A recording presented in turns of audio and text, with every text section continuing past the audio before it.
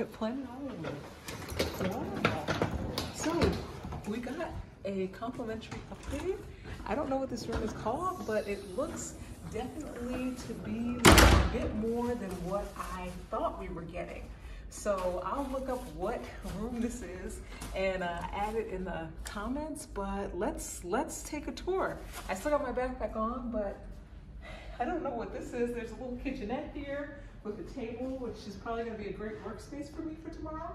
Um, there also looks to be some type of cage thing here that looks exciting and very Vegas. Love it.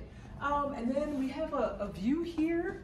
Looks like we have a connecting door to maybe another room, but then it looks like we have a beautiful view here of the Bellagio, Paris. I can see the Cosmopolitan and Caesar's Palace, the Flamingo. Not sure if you can see all that with the glare at night, but a wonderful view here. And then a sectional couch. I mean, Planet Hollywood is really doing it. A, a sectional couch here that looks like it's great for fun, as well as a full dining room table with the leg picture. This is amazing.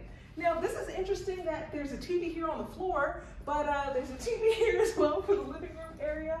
And now it looks like we have a separate room here in the back for the, the master bedroom suite. This, this is an amazing upgrade. I mean, she just slid it in and there's a whole separate door here. Like, wow, this, this is a great room. I'm, I'm really excited. Um, nice bed, there's another table. Um, there's also a chase or couch here on the side, which looks amazing. Um, here's a closet. Looks like an ironing board's available. Um, we have another TV here. There's a safe TV here and dresser. And then let's let's see what else we have. It looks like another bathroom. Wow. I mean, I wish we were staying in this room for more than one night. This is great. So it looks like a nice size shower here, toilet, little tub um, and bathroom. And I guess we should go back to the other bathroom and check it out because we have two. Oh, I might want to stay here some more nights. Like, this is really good. Um, the resort fee for Planet Hollywood was $51.90, so about $52. Um, we did actually book this with points, so uh, I'm feeling the value for a Thursday night. Wow, this kind of woke me up with this wonderful room. Wowzers. All right, let's just check out the other bathroom here. Um, it's a half bath, which, which is perfect for entertaining. So half bath and a full bath, a full couch.